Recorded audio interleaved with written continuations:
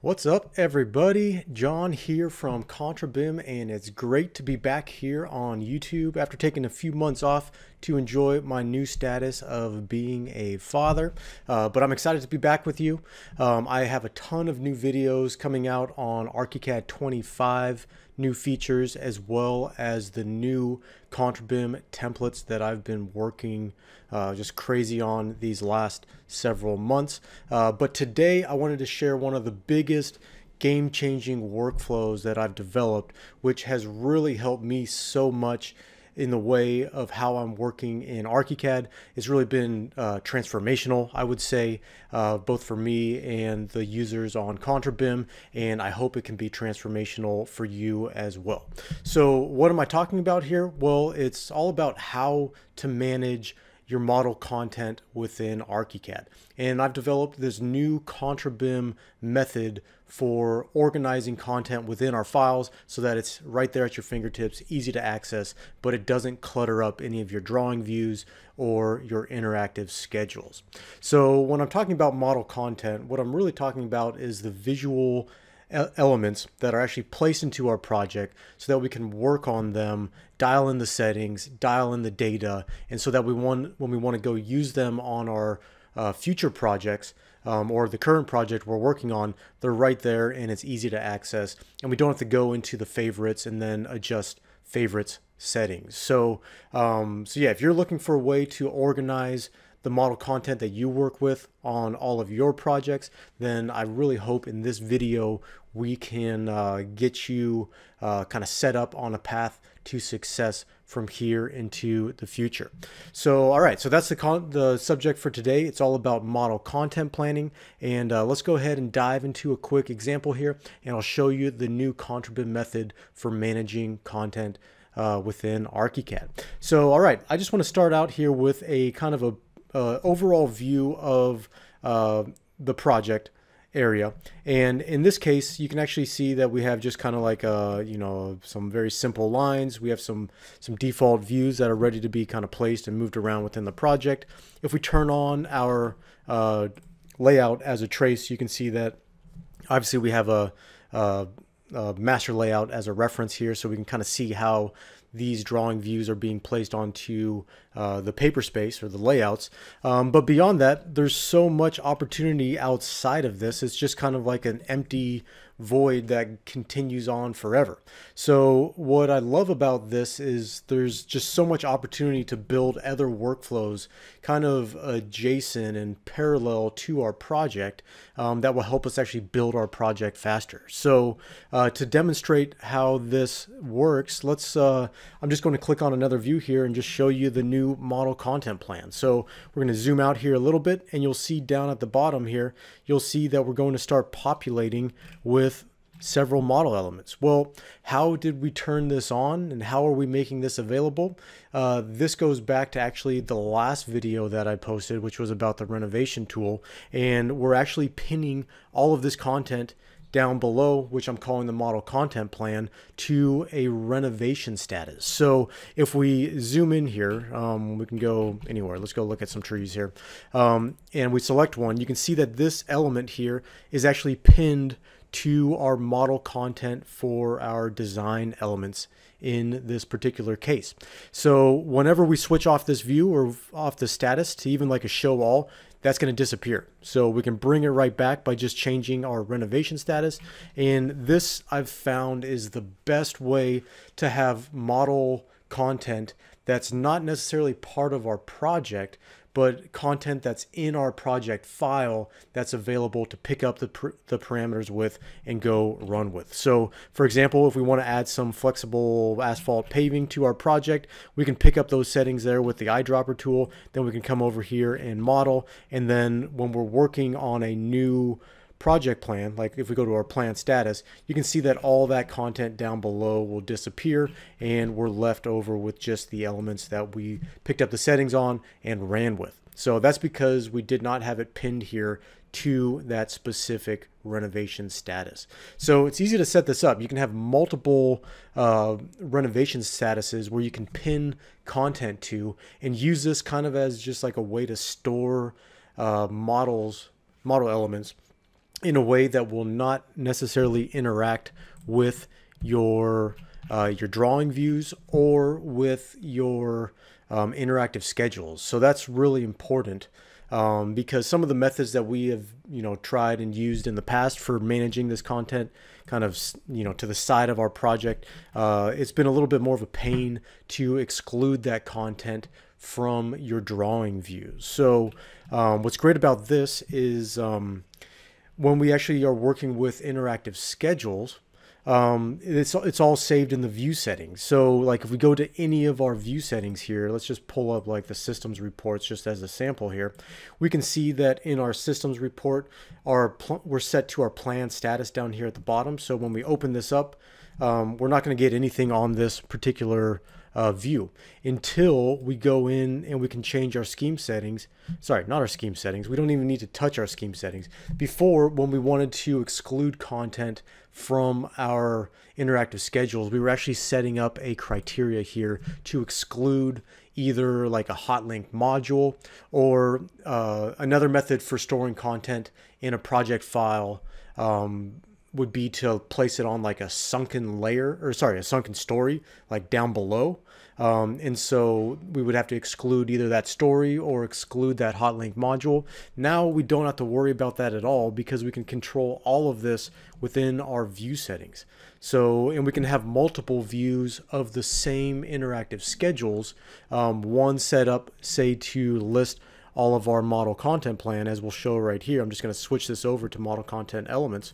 We switch this over and we'll be able to see all that content from our model content plan flowing right into this report so that we can dial in the settings even more and make sure that this is set up fully functional with our outputs. In this case, it would be the systems report Excel output. So here you can see all this content just uh, was loaded right back in.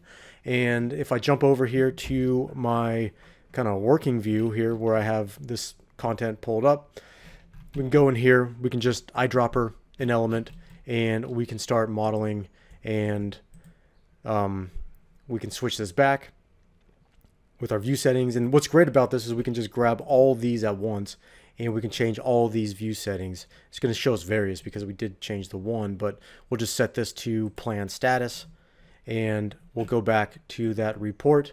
And now we are removing all of our model content and we're just listing that one element that we have actually added to our project. Okay, well that didn't work. Let's see what happened there. View settings, plan status. There we go. So it just needed to, to refresh there for us. So um, so yeah, that is kind of the uh, the basics behind this workflow. Um, it is really easy to uh, to work with. I've found it's way way easier than using a hotlink module from a separate file. In the previous templates that I've put out, I always had like a virtual library file that was um, a separate PLN file from our ArchiCAD template file. And that's where we would store all of these model elements and we would uh, kind of work on them there. We'd set up all the reporting, we'd get all the data right.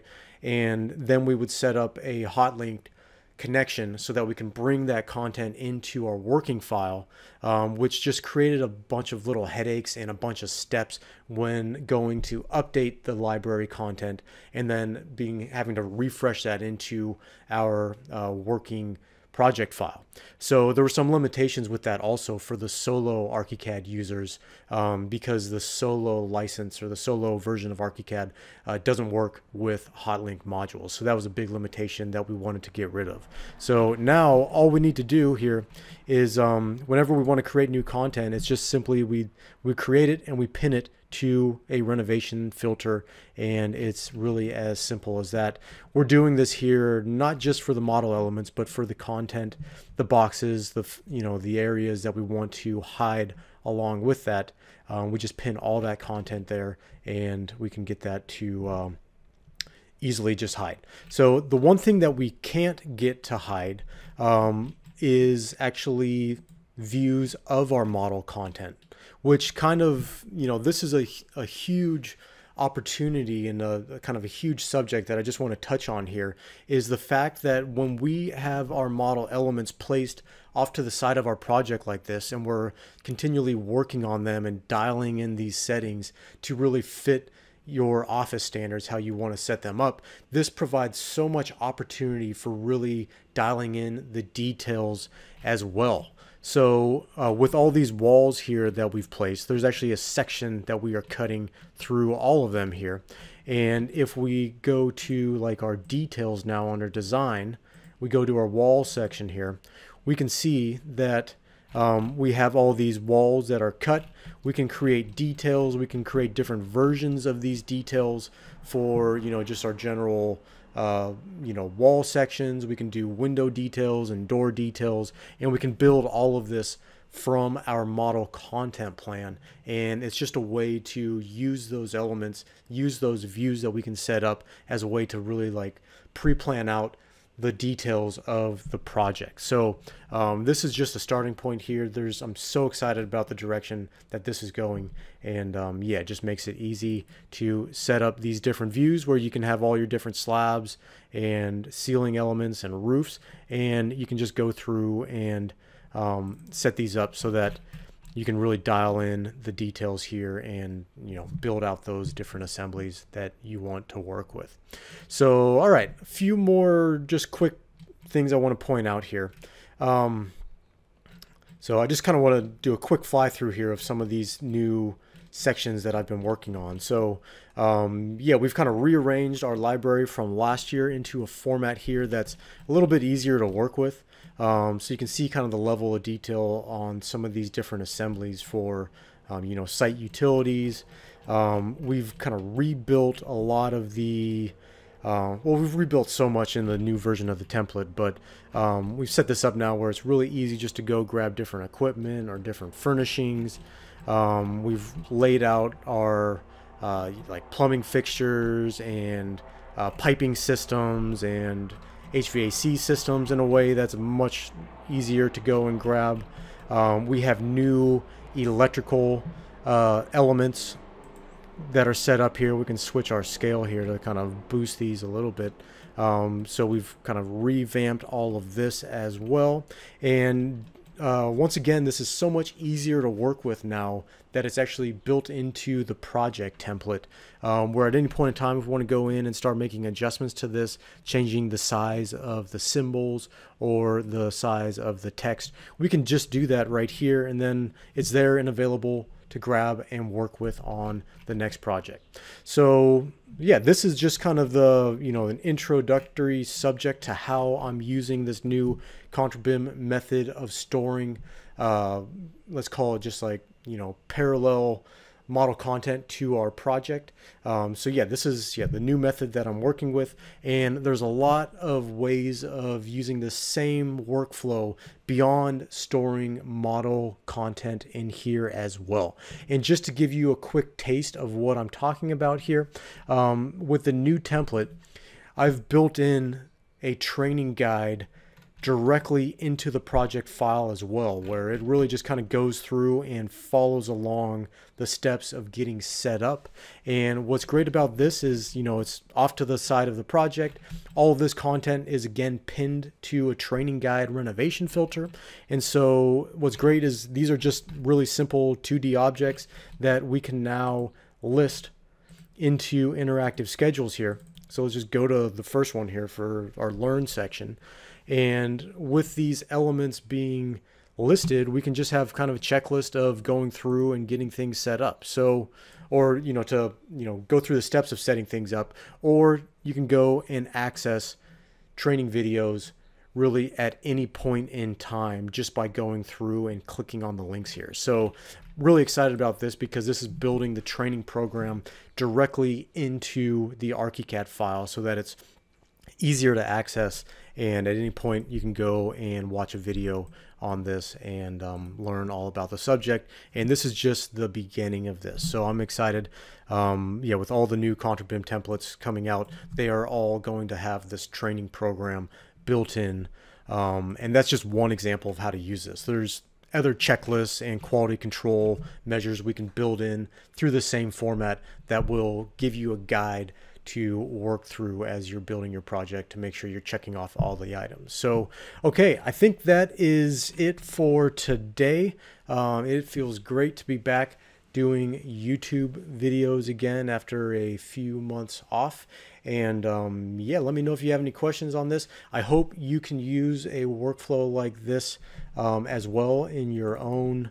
Um, you know ArchiCAD projects and workflows. It's just uh, to me, it just makes a lot of sense. It's way more user friendly and easy to use um, than having everything placed on one sunken story. Because you know, as you'll note here, um, as we go up through the stories, um, we're not limited to one story here. We can go to an attic story, we can go to a roof story, and we can have this content placed across multiple stories and we can really dial in the settings so that the elements show up on their home story as well as the adjacent stories as well. So that's really important when it comes to setting things up. You don't have to have all your roofs placed on like a sunken story and then go and reset those settings to get them on the correct story later on. Uh, this makes it much easier to kind of, uh, uh, you know, cut that step out. Um, so just want to point that out. And um, yeah, this is way easier than having to deal with hot links and updating hot links um, and having two files to manage when it comes to your project attributes. Um, having it all in one just makes a lot of sense and uh, is much easier to use. And it may add a little bit to the file size, but I think the benefits of having this and the ability to start detailing from your model content plan uh, and having these details flow right into your project drawings um, is really a powerful concept. And so I'm excited to share it with you today. You can probably feel that excitement. And um, yeah, hopefully this is something that you can use. So that's it for today. I'll actually sign off this time. Um, if you want to learn more about the new ContraBIM templates, then go check out contrabim.com where we have more trainings and um, different tools to help you do more with ArchiCAD. And uh, if you like this type of content, make sure to subscribe and like the videos. And uh, we'll catch you on another one here very soon. Thanks for watching.